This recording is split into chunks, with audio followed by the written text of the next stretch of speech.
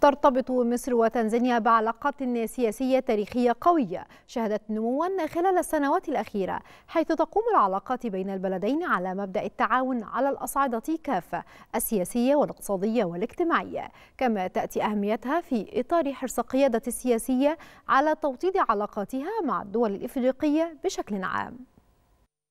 على مبدأ التعاون والتفاهم في شتى المجالات تقوم العلاقات بين مصر وتنزانيا علاقات تاريخية تعود لستينيات القرن الماضي خلال عهد الزعيمين جمال عبد الناصر وجوليوس نيريري. علاقات تعمل القيادة الحالية للبلدين على تنميتها وإطلاقها إلى آفاق أرحب وإرث يجري الاستثمار فيه لصالح الشعبين والقارة الأفريقية على السواء. أهمية العلاقات بين مصر وتنزانيا تأتي من حرص القيادة المصرية على توطيد علاقاتها مع الدول الأفريقية بشكل عام وذلك من خلال مشروعات التعاون والاستثمار وتبادل المصالح. أما العلاقة مع تنزانيا فتكتسب أهمية خاصة نظرا لكونها أحد أكبر دول شرق القارة الأفريقية ومن دول حوض نهر النيل أيضا. اللقاءات والمباحثات بين قيادتي البلدين تعكس أهمية العلاقة بين مصر وتنزانيا. فجاء استقبال الرئيس عبد الفتاح السيسي لرئيسة تنزانيا سامية حسن على هامش أعمال قمة المناخ بشرم الشيخ الشهر الماضي. مباحثات قمة جرى التأكيد خلالها على توافق الرؤى القائم بين البلدين إزاء مختلف الملفات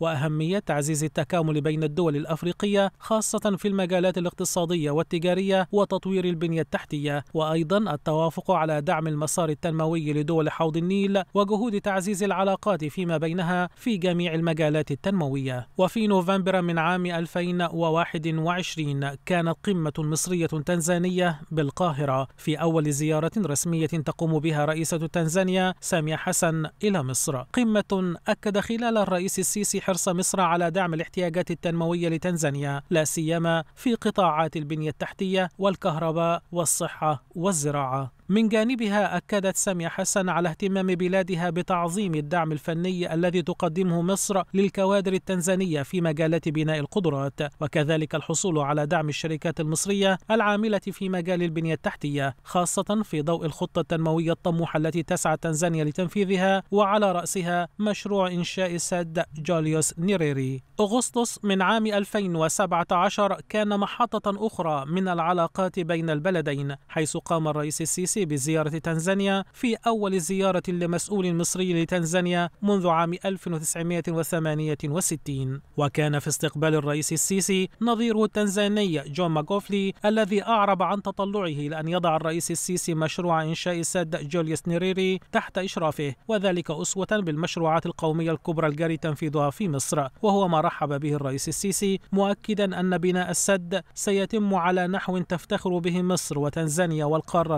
الأفريقية وسيمثل نموذجا يحتذى به للتعاون بين الأشقاء الأفارقة.